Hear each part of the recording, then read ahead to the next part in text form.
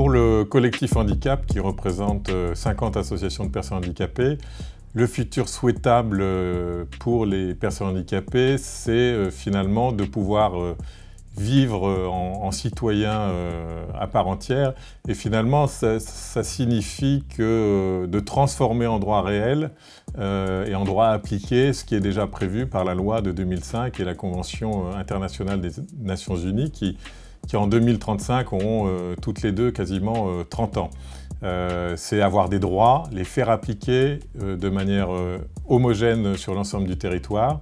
Et tout cela, ça implique à la fois une réforme profonde de notre système de protection sociale en mettant en place une vraie véritable politique de l'autonomie. C'est une véritable révolution que l'on peut faire d'ici 2035.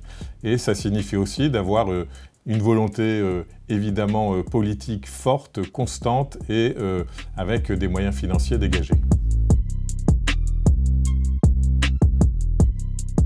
Le CESE peut y contribuer de manière, je dirais, assez simple, mais qui nécessite certainement, dans le mode d'organisation, à, être intégré.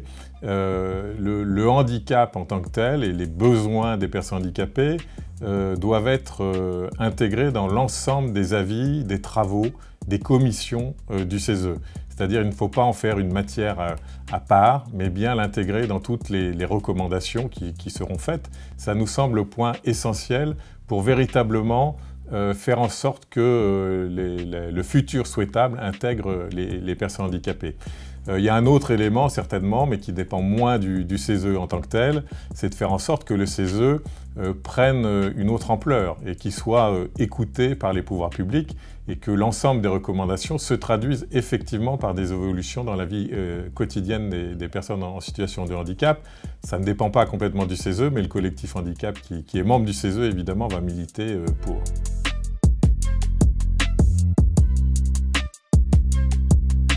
Alors il y a effectivement plusieurs signaux faibles. Euh, difficile de les citer tous parce que malheureusement, euh, dans la vie des personnes handicapées, les signaux faibles sont, importants.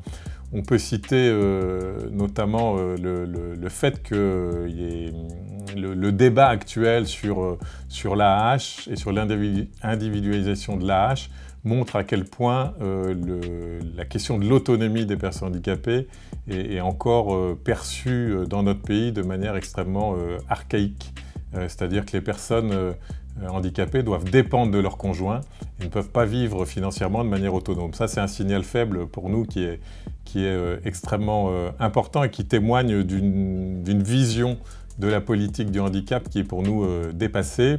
Un autre signal faible, euh, par exemple aussi, c'est euh, le, nombre important encore de discriminations que vivent les personnes handicapées dans tous les axes de leur vie quotidienne. On sait que c'est encore le premier critère de saisine du défenseur des droits depuis des années et ça continue. Donc les discriminations sont encore extrêmement importantes et dans le futur souhaitable, dans notre futur souhaitable, évidemment ces discriminations-là, on aura réussi à les, à les combattre.